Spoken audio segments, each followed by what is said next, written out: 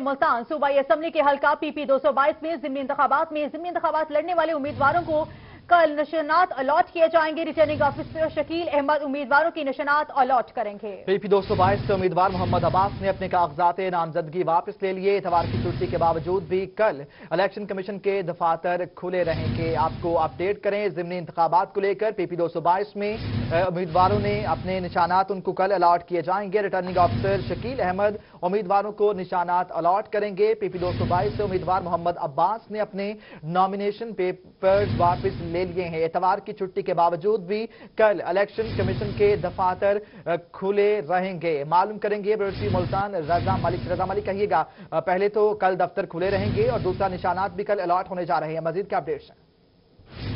جی بالکل پی پی دو سو بائیس ملتان بارہ میں یہ ضمنی انتخاب ہونے جا رہا ہے۔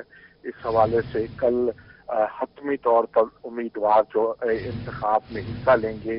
ان کو نشانات رات کیے جائیں گے اور کل جو امیدوار اپنے کاغذات میں نامزد کی واپس لینا چاہیں گے وڈرا کرنا چاہیں گے، اس الیکشن سے تو وہ اپنے کاغذات بھی واپس لے سکیں گے اور اب تک جو صورت حال ہے تو محمد عباس جو امیدوار تھے، انہوں نے اپنے کاغذات واپس لیے ہیں طریقے لبیک کا تعلق تھا۔ اور جبکہ قاری قاسم جو ہیں وہ تحریک لبیک کی طرف سے جو الیکشن میں حصہ لیں گے۔ اس کے ساتھ ساتھ کل جو پارٹی ٹکٹ جمع کرائیں گے تو ان کو پارٹی نشانات کرا دی جائیں گے۔ جبکہ آزاد امیدواروں کو، آزاد امیدواروں کی جو لسٹ ہے، اس میں سے نشانات الاٹ کیے جائیں گے اور ریٹرننگ افسر شکیل ہے۔ کل اتوار کے روز چھٹی کے باوجود بھی دفتر کھلا رکھیں گے اور امیدواروں کو نشانات الاٹ کریں گے۔ رضا مالک، آپ کا شکریہ۔